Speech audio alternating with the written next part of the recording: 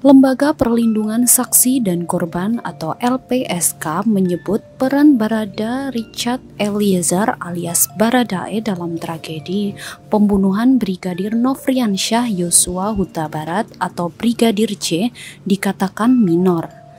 Baradae memiliki peran yang sangat kecil karena mendapatkan perintah dari atasannya, yakni mantan Kadif Propam Polri Irjen Verdi Sambo. Dan saat ini Ketua LPSK masih mendalami keterlibatan Baradae dalam pembuatan skenario perencanaan pembunuhan yang didalangi oleh Sambo yang hingga saat ini juga sudah ditetapkan sebagai tersangka.